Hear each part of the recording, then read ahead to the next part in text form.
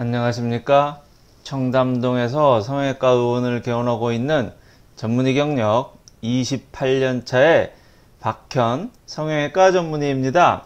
오늘은 흔히 이 주걱턱이라고 표현이 되는 이 아래턱 나옴에 대해서 말씀을 드리겠는데요. 그러한 얼굴형의 경우 이 중안면으로 이렇게 꺼진 오목한 접시형 얼굴이 많기 때문에 양악 수술을 하지 않고도 교정 가능한 부분이 있겠습니다. 그럼 사례자의 질문입니다. 안녕하세요 선생님 제가 아래턱이 약간 나와 있고 입도 약간 돌출이 되어 있습니다. 주걱턱처럼 아랫니가 나온 것은 아니라서 그런지 치과에서는 부정교합이 심하지 않다고 교정 권유도 안 해줄 정도입니다. 병원에 갔더니 턱 돌출보다 중안면부가 꺼져 있어서 그런 것이라며 앞볼에 필러를 권하여 한 상태인데 그 뒤로 코 옆 귀족 부위가 더 꺼져 보여서 고민입니다. 주주 하고 질문을 주셨습니다.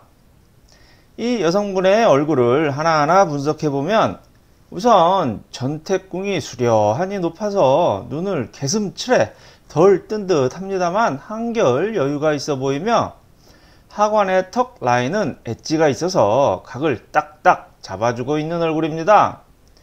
이러한 얼굴에서 사각턱을 친다고 한다면 깊었던 중안면부의 얼굴 깊이가 턱이 잘려나간 것만큼 얕아지게 돼요. 이 중안면부의 깊이가 얕아져서 일명 대턱 부작용이 날 확률이 높은 얼굴이므로 신중하셔야 하겠습니다. 얼굴면 분석을 해보면 아래턱 나옴으로 인해 하안면부 얼굴면이 귀에서부터 가장 거리가 멀게 있으며 중안면부는 귀 구멍에서부터 가깝게 위치하여 상대적으로 하안면부가 돌출되어 보이고 있습니다. 그래서 사례자분이 그 앞볼 필러를 하신 것 같은데요. 앞볼이 튀어 올라오면서 코 옆 팔자주름은 상대적으로 더 꺼져 보이게 된 것입니다. 이러한 현상이 발생하는 이유는 코 옆 팔자주름 피부 아래에는 이렇게 상악골 뼈에서부터 팔자주름 이 피부까지 이 낚싯줄과 같이 질긴 그 유지인대가 붙어 있어서 웬간에서는 부풀어 오르지 않는 부위이므로 중안면부에서는 광대살이라든가 앞볼살 부분은 절대 융기되어서는 안 되는 부위라고 말씀을 드렸었습니다. 얼굴 해부학은 흡사 오리털 파카에 누비오처럼 박음질이 되어 있는 부분이 군데 군데 있어서 필러를 골고루 주입한다고 하여도 박음질이 되어 있는 빨간 화살표 부분의 팔자 주름에는 남아있지 못하고 하늘색 화살표의 앞볼살로만 그 이동하게 되는 것입니다.